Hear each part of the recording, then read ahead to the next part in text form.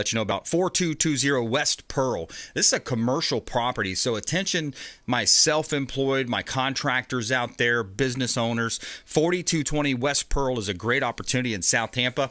Uh, you've got mixed use uh, here, uh, zoning wise, 1,200 square foot building and you've got a corner lot with lots of parking, centrally located in South Tampa. Great opportunity for uh, relocating contractor business or other type of business. 4220 West Pearl Avenue in Tampa, uh, one of our hot listings.